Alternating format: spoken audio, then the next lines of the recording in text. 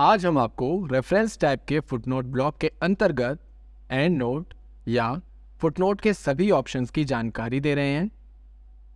आपने कई बार देखा होगा कि अखबारों में या किताबों में किसी शब्द के आगे स्टार लगा हुआ होता है और नीचे की तरफ़ उसका अर्थ दिया हुआ होता है।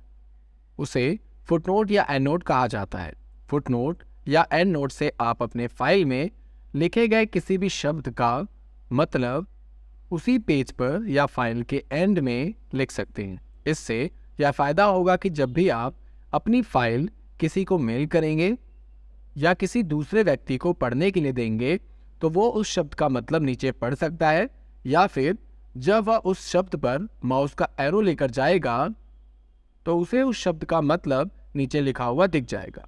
तो चलिए इसे प्रैक्टिकल तरह से समझते हैं। दोस्तों, अगर आपको हमारा ये वीडियो पसंद आए तो चैनल को लाइक करें, कमेंट करें, शेयर करें, सब्सक्राइब करें और बेल आइकन को ज़रूर दबाएँ। तो चलिए वीडियो को शुरू करते हैं। एंड नोट या फुट नोट का यूज़ करने के लिए हमें सबसे पहले जाना होगा रेफरेंस टैब पर। रेफरेंस टैब पर जाने के बाद आप देखेंगे, हमारे सामने यहाँ पर एक ऑप्शन दिखाई देगा फुट नोट्स ब्लॉक का और उसके अंदर आपको एंड नोट और फुट नोट के ऑप्शन आपको यहाँ पे दिखाई देंगे। सबसे पहले हम आपको फुट नोट इंसर्ट करना बता देते हैं। तो इसके लिए मान लीजिए हमने यहाँ पर एक डॉक्यूमेंट इंसर्ट किया हुआ है और जिस वर्ड पर भी आप फुटनोट का यूज़ करना चाहते हैं, उस वर्ड को या तो आपको सिलेक्ट करना है और या तो फिर उस वर्ड के आगे आपको क्लिक कर देना है। हमने विंडोज़ के आगे क्लिक कर दिया है और क्लिक करने के बाद हमें जाना है फुटनोट पर और यहाँ पर फुटनोट पर क्लिक कर देना है। जैसे हम यहाँ फुटनोट पर क्लिक करेंगे तो आप देखेंगे इस पेज के बिल्कुल लास्ट में आपको यहाँ पर फुटनोट दिखाई दे जाएगा। यहाँ पर आप उस शब्द के बारे में जो भी लिखना चाहते हैं, वो यहाँ पे लिख सकते हैं। जैसे मान लीजिए हम यहाँ पर टाइप कर देते हैं ऑपरेटिंग सिस्टम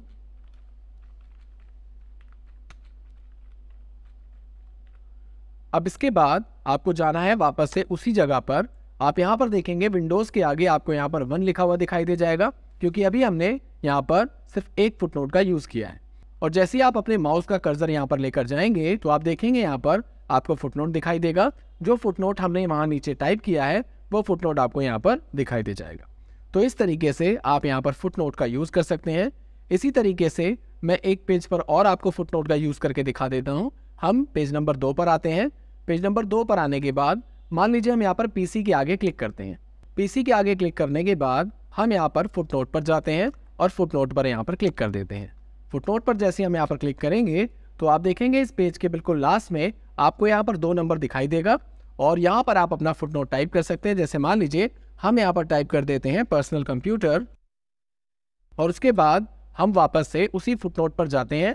यहाँ पर आप देखेंगे, उस फुटनोट के आगे दो लिखा हुआ दिखाई दे जाएगा क्योंकि यहाँ पर हमने अभी दूसरा फुटनोट यूज़ किया है। और आप देखेंगे यहाँ पर पर्सनल कंप्यूटर आपको दिखाई देगा, जो फुटनोट हमने नीचे टाइप किया था, वही फुटनोट आपको यहाँ पर दिखाई दे जाएगा। तो इस तरीके से आप फुटनोट का यूज़ कर सकते हैं। इसके बाद हम बात करते हैं एंड नोट की। तो एंड नोट के लिए हम मान लीजिए चले जाते हैं पेज नंबर तीन पर। पेज नंबर तीन पर जाने के बाद हम यहाँ पर पासवर्ड के आगे क्लिक करते हैं एंड नोट लगाने के लिए भी आप पासवर्ड को सिलेक्ट कर सकते हैं या फिर पासवर्ड के लास्ट में आप क्लिक कर सकते हैं। तो मान लीजिए हम पासवर्ड के लास्ट में यहाँ पे क्लिक कर रहे हैं और यहाँ पर रेफरेंस टैब में हम वापस से फुटनोट ब्लॉक के अंदर यहाँ पर आप देखेंगे एंड नोट का आपको एक ऑप्शन दिखाई देगा, इस पर आपको क्लिक करना है। जैसे हम यहाँ पर एंड नोट पर क्लिक करेंगे तो आप देखेंगे पेज के बिल्कुल लास्ट में यानी जहाँ पर हमारा डॉक्यूमेंट बिल्कुल एंड हुआ है, बिल्कुल खत्म हुआ है उस पेज के बिल्कुल लास्ट में आपको यहाँ पर एंड नोट दिखाई दे जाएगा। यहाँ पर आप जो भी एंड नोट टाइप करना चाहे, वो यहाँ पे टाइप कर सकते हैं। मान लीजिए हम यहाँ पर पासवर्ड दे देते हैं एक्सल इन्फोटेक और इसके बाद हम पेज नंबर तीन पर वापस से जाते हैं। पेज नंबर तीन पर आने के बाद आप देखेंगे यहाँ पर पासवर्ड के आगे एंड नोट आपको लिखा हुआ दिखाई दे जाएगा एक्सल इन्फोटेक के नाम से। इसी तरीके से मान लीजिए, हम एक और एंड नोट आपको लगा के दिखा देते हैं। इसके बाद हम चले जाते हैं नेक्स्ट पेज पर। मान लीजिए, हम पेज नंबर फोर पर आ जाते हैं और पेज नंबर फोर पर आने के बाद इमोजी कीबोर्ड के आगे हम यहाँ पर क्लिक कर देते हैं और यहाँ पर भी हम एक एंड नोट का यूज़ करते हैं। तो वापस से चले जाते हैं रेफरेंस टाइप के एंड नोट वाले ऑप्शन पर और यहाँ पर हम फिर से क्लिक करते हैं। जैसे हम यहाँ पर क्लिक करेंगे तो आप देखेंगे एक्सल इन्फोटेक का जो हमारा पहला एंड नोट लगा था, उसके जस्ट नीचे आप देखेंगे, यहाँ पर आपको दो दिखाई दे जाएगा, यानी कि दूसरा एंड नोट आप यहाँ पे टाइप कर सकते हैं। तो मान लीजिए, हम यहाँ पर टाइप कर देते हैं इसकी शॉर्टकट की। तो मान लीजिए, हम यहाँ पर टाइप करते हैं विंडोज़ हमने यहाँ पर इमोजीज की शॉर्टकट की लिख दी है।